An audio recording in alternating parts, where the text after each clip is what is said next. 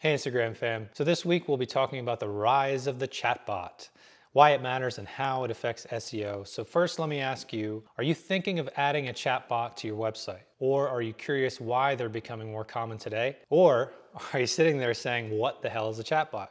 If you are, then your brand might be fucked and here's why. So AI or artificial intelligence is taking over the modern web. Most businesses are looking for new opportunities to attract and engage with their customers, but not everyone has the time to be present and do it themselves. This is where the chatbots come into play. Your website is probably the hub of your marketing and the one place you typically direct followers or potential customers to visit to learn more about your business, right? So ask yourself, what if you could make a visitor's first experience with your brand more engaging and memorable? Chatbots help assist in acquiring new clients. So rather than a visitor landing on your site and being forced to navigate it on their own, chatbots can help visitors handle some simple tasks. Chatbots are kind of similar to the host at a restaurant or a hotel. They're there to determine what your immediate needs or concerns are and how to help get those resolved. So sometimes chatbots will help answer these questions directly, or they may forward the conversation to a live real person agent to discuss in further detail. It'll show up just like a chat feature on your website, and it's great at answering questions like, what services do you offer? Where are you located? How did you hear about us? How much does it cost?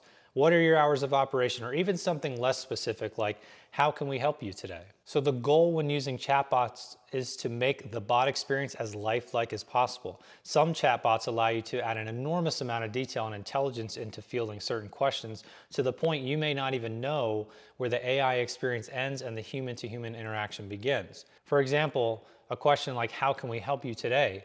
Based on your answer to this question, a chatbot may be able to provide you a list of useful links, might connect you with, a, with the user with a, a live agent or provide a response directly if it applies to the visitor's response. Now that the basic concept of a chatbot is understood, how could a chatbot influence SEO? Well, in simple terms, Google takes customer satisfaction very seriously. The more easily a website visitor can find information and the longer that visitor remains on your website will both positively impact your rankings and search. So the first concept is what's called dwell time which is defined as the amount of time a user spends on a web page after uh, arriving from a search engine results page or a SERP page for short. The longer the dwell time, the more likely it is a user is pleased with what they found. So chatbots naturally extend dwell time because they quickly get visitors engaged and to the content they need most. And in most cases, they do it quicker than if they were to search on their own.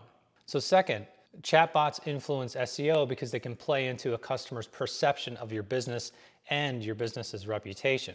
So for example, service-oriented businesses can't rely exclusively on their products to keep customers happy.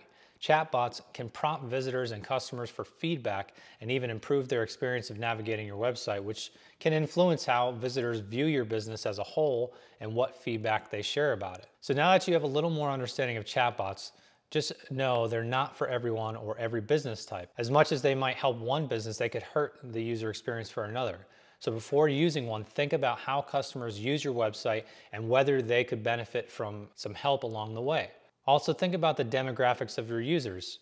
Uh, chatbot users tend to be younger, so if your website caters to aging adults, a live chat agent or no chat feature might be a better option. Like every marketing technique and strategy we implement, I always recommend that you keep a close eye on your website traffic, the engagement, and other metrics that matter to you so that you can determine if a chatbot is helping or hurting the visitor's experience.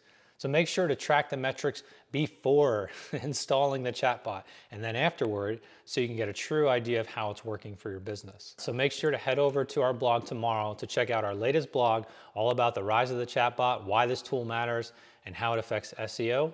Thanks for watching, and if you have any questions or need help, let me know. I'll chat with everyone soon.